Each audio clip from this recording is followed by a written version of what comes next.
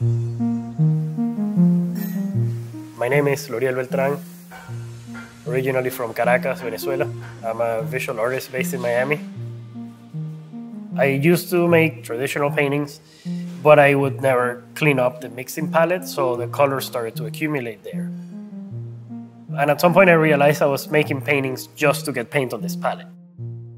I was more interested in this idea of paint growing, and I also liked that became this sort of register for every painting that I had made was in this palette. So this palette became really important. Like it, it held all of my work in this thing. These paintings, it take very long time to make. I work them in groups because they take months to complete. In the past, they used to take, you know, sometimes years. Now that I figure out the process, they, you know, it's, it's months. If I do it too thick, just, it won't dry well. It, it just breaks up.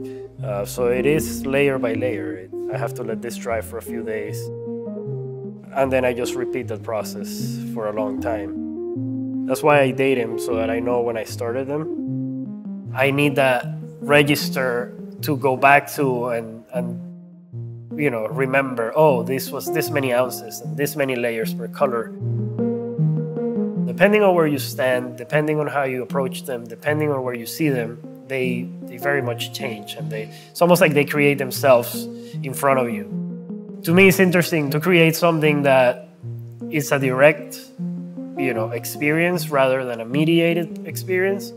I do keep that sort of tension sometimes with like the addition of some of these interruptions and something that wants to become a form or something that wants to become, but it doesn't really actually get there. There's never anything specific or defined. These started from essentially a waste object, a six pack ring, and these started from plastic bags. Sometimes they start from just pieces of dry paint. You know, they generate a lot of other interesting things when they go into the painting. I like that this exists in this sort of like undefined space of, you know, perception and experience.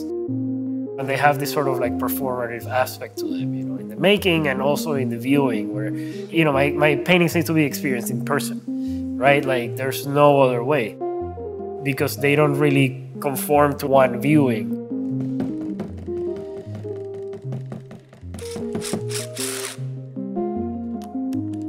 Once the mold is completely full or the sequence is finished, I remove all the sides and the bottom, and then it moves onto the machine.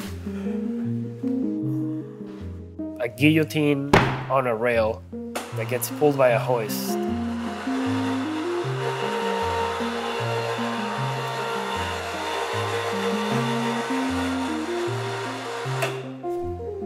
I like the translation from three-dimensional space to two-dimensional space.